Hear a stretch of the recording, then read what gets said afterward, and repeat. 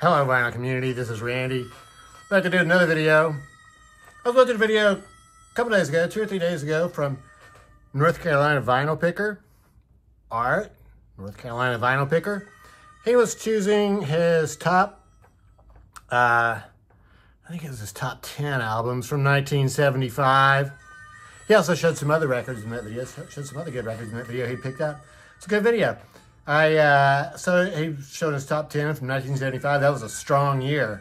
Uh, "Wish You Were Here" was one of the ones that he named. Pink Floyd's "Wish You Were Here," and uh, oh gosh, there were some other strong ones I can't think of right now. But one of the ones uh, that he listed was um,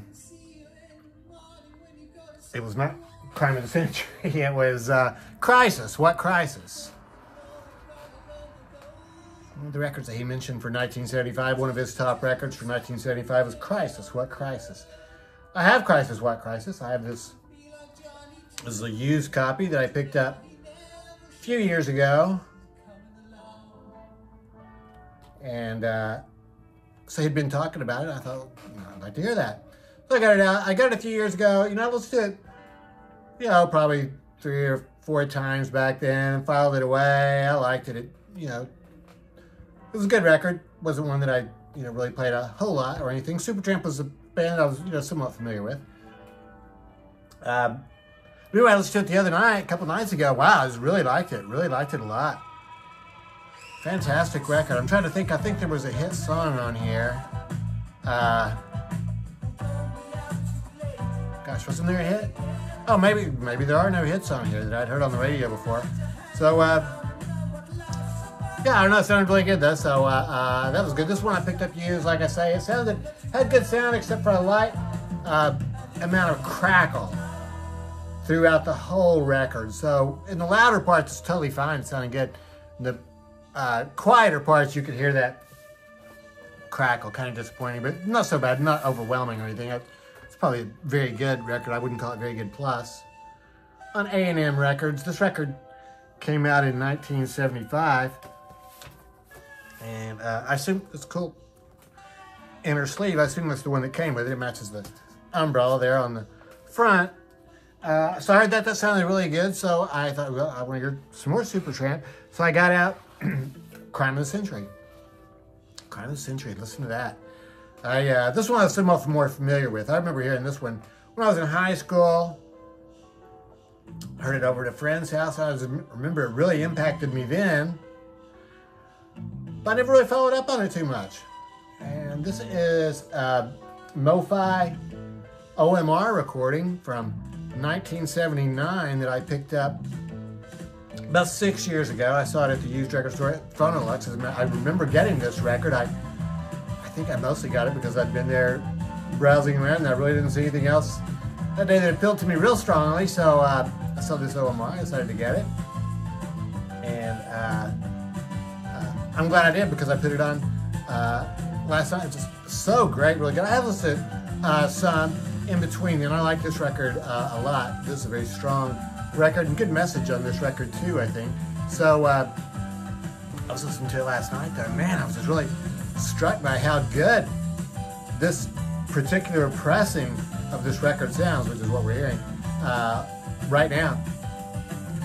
It just sounded incredible, and I turned it up some more, and it just started sounding better and better. And I just have to tell you, I mean, this, I think this is the best record, sounding record I have in my whole collection, or you know, right up there. I mean, I got a lot of records in my collection. I haven't done, you know, head-to-head comparisons all, but but this one just sounds really good. And the, you know, like I said, the louder I turned it up, the louder it sounded. The the uh, uh, well, the stereo mix was just so outstanding. The uh, uh, sound stage was just unbelievable. Just felt like you could hear where each instrument was, and like when the when they would be hitting the bells and stuff, it would just it would just ring. It just sounds like it was right here in the room.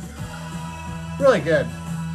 And I was also struck by just how fantastic the album is. This unfortunately this OMR recording, this used recording I got, came with nothing at all, no insert. Uh, it came in a, a MoFi inner sleeve, which was good, but. Um, yeah, there was no insert or anything like that with the lyrics and stuff. So, uh, but I did look up the lyrics on the uh, internet, which you're able to understand most of them anyway. And uh, yeah, it's really, it's such a fantastic album. It's very much a concept album, and uh, sort of, I guess it deals with one guy's life starting out when he was in school and going into adulthood.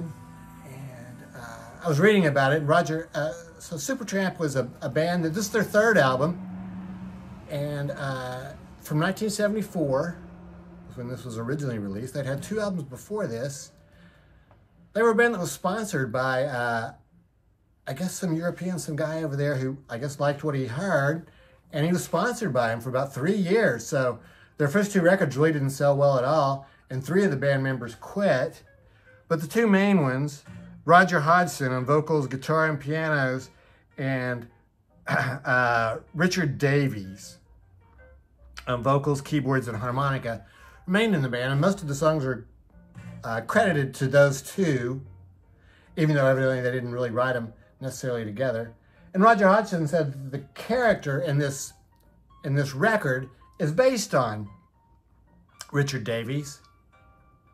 And reading a little bit about him, I learned that Richard Davies was more of a working class guy, whereas Roger Hodgson had gone to private schools and, you know, I guess, I guess came from a uh, higher economic background. background. So, uh, fantastic album cover.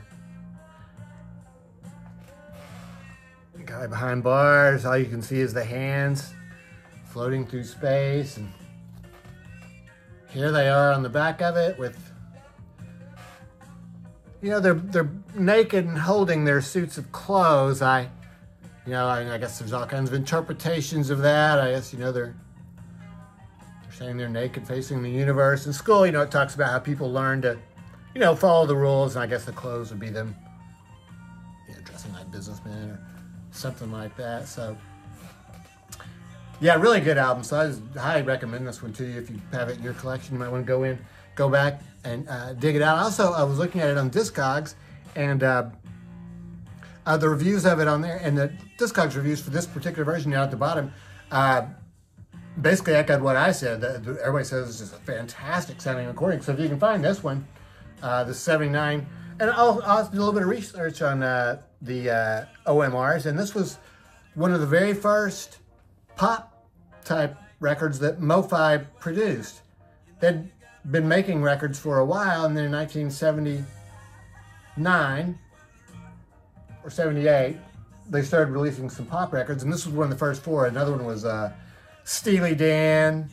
Uh, there was a Fleetwood Mac album, I think. So, uh, so yeah, I was really glad to get that. I'll tell you another record that I have that I put on once a few years ago, and it just just amazed me how good the sound quality was with this Turtles.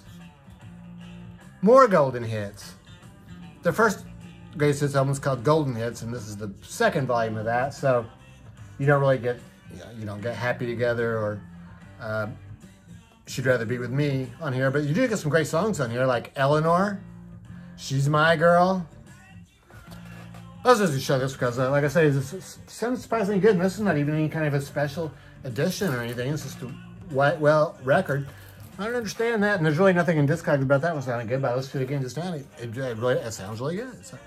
Uh, the only other Supertramp record I have is this uh, 2018 reissue I got of Breakfast in America. Breakfast in America is a record that I got when it came out. I remember when it came out. I went to the record store and they had a uh, a life-size cutout of this woman, of this waitress. She was standing there in the store and she had a you know a handful of the records for sale. It was a really cool cover. It's that's New York back there is like you know uh, plates and boxes and thermos jugs and so breakfast in America and you know like even the twin towers are back there. She's like the Statue of Liberty. So very cool. This record was absolutely huge. This went, I think is number one around the world and there were four hit songs on this one, I believe. Uh, the Logical Song. What else were the other hits? What were the other hits? Take the Long Way Home. Huh. I thought there were some other hits, but those are the ones I remember.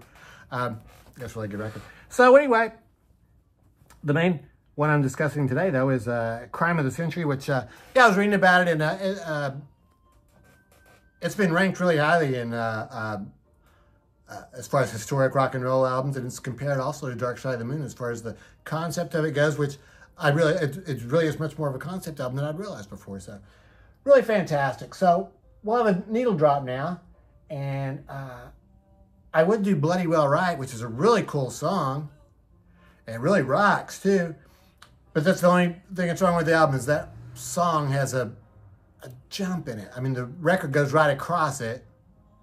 It doesn't stop. You don't have to pick up the needle, but it has a bad skip in it. So, but I'm going to do a, uh, we'll do a uh, needle drop of Dreamer.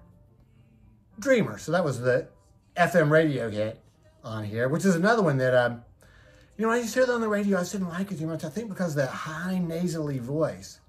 But after you get into the song, I mean, it really grows into a fantastic, fantastic song. So uh, stay tuned for that needle drop and uh, uh, let me know what you think about this record. I'd be interested to know. And uh, yeah, hope everybody's doing well. Thanks for watching.